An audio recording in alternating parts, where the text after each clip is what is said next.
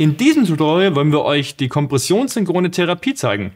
Das Corpuls 3T und das Corpuls CPR lassen sich schnell und einfach über Bluetooth verbinden und können dann eigenständig arbeiten. Verena, warum ist das von Vorteil? Naja, wenn ich über einen Monitor beide Geräte bedienen kann, dann erleichtert das die Abstimmung im Team einfach ungemein. Okay, Verena, wir sind jetzt an einem Punkt in der Simulation, wo wir uns kurz damit befassen können, die Geräte zu synchronisieren. Ja. Dazu würde ich den Discovery-Modus starten. Jawohl. Ist gestartet. Jawohl.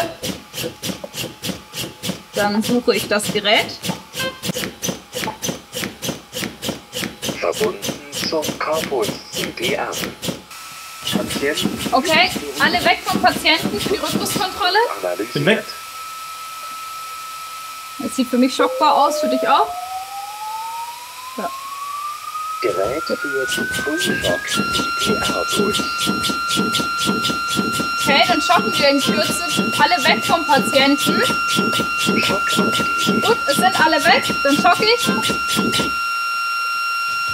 Schock.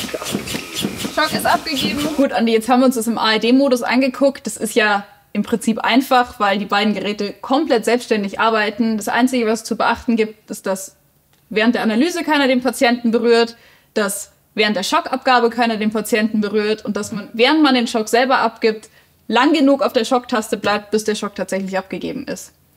Jawohl. Dann würde ich vorschlagen, ähm, schauen wir uns das Ganze im manuellen Modus an. Ja. Okay? Okay, Verena. Ich sehe am Tortendiagramm, zwei Minuten sind rum. Jawohl. Ich würde gerne manuelle Analyse starten. Ja. Weg vom Patienten. Und du schaust bitte mit drauf, okay? Ja. Dazu stoppe ich die CPR. Weg vom Patienten. Bin weg. Das sieht für mich schockbar aus. Ja, für mich auch. Ich starte wieder und lade. Achtung, in Kürze Schock. Alle weg vom Patienten. Achtung, Schock. Schock abgegeben. Was wir jetzt im manuellen Modus beobachten konnten, ist, dass sich die No-Flow-Zeiten nochmal deutlich reduzieren lassen. Am Corpuls 3 Touch Monitor kann ich die CPR unterbrechen. Es erfolgt dann die Analysephase. Ich kann sie dort auch wieder aufnehmen, laden, schocken und das Ganze ist dann synchronisiert, relativ einfach abzuarbeiten. Das Corpuls 3 Touch lässt sich als Remote-Fernbedienung für das Corpus CPR verwenden. Ich kann die Therapie starten und ich kann sie stoppen. Wenn ich die Parameter konfigurieren möchte, ist mir das ebenfalls möglich. Ich wähle den entsprechenden Parameter und verändere dann entsprechend meiner Vorstellungen. Durch die Interaktion und Kommunikation der beiden Geräte kommt zu einer leichten Zeitverzögerung.